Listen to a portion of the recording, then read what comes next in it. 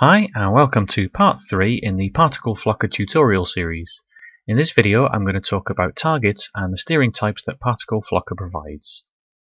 So I've got a simple scene set up which contains just a Particle Flocker node and some particles and the Flocker node and the particles are attached to one another.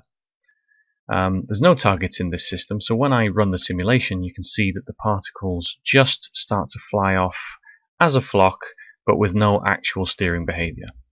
So we want to introduce some steering behavior and to do that we need to add a target.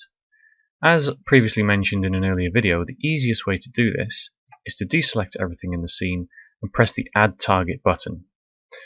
So the types of targets that are available in Particle Flocker are Seek, Flee, Wander and Path Follow.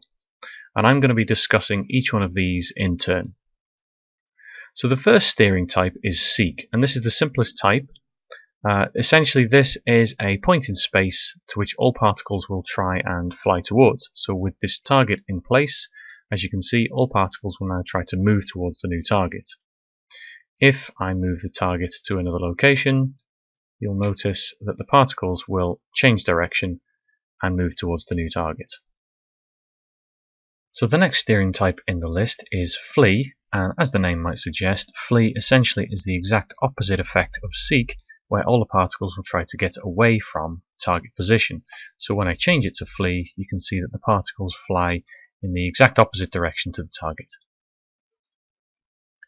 So the next steering type in the list is wander. And wander allows particles to randomly move around the environment that they're in while still maintaining the standard flocking behaviors. So if I set the steering type to wander and run the simulation, you'll notice that the particles have much more free flow to their movement, yet they do still maintain separation and grouping. So one side effect to using the wander steering type is that particles do not honour the position of the target at all. Their movement is completely random um, whilst maintaining standard flocking behaviour. So the issue you can see is that they do start to quite quickly fly away from the origin. And this may or may not be desired, uh, but typically you want to try and maintain the flock cohesion as much as possible. Now one way around this is that you can increase the number of neighbors in the simulation, which will obviously uh, make the flocking groups larger, but it still doesn't get around the fact that the particles will fly away from the origin quite quickly. One way to get around this is to have multiple targets in the system. In this example, I have a wander target and a seek target, and this provides us with a quite nice animation of randomly swimming particles, similar to fish in a fish tank, but are still maintaining kind of a, a grouping around a central point, which in this case is the seek target, which is animating slowly around. So the final steering type in the list is path follow, and for path follow to work, Particle Flocker requires a NURBS curve to be created in the scene as opposed to uh, transform like a locator. So once you've got one set up, like I have in this example, when you run the simulation, particles will basically just find the nearest point on the curve to them and start to look along the curve in the direction that they're facing. And this gives a really good uh, simulation of, say, fish or birds flocking together as a group along a path.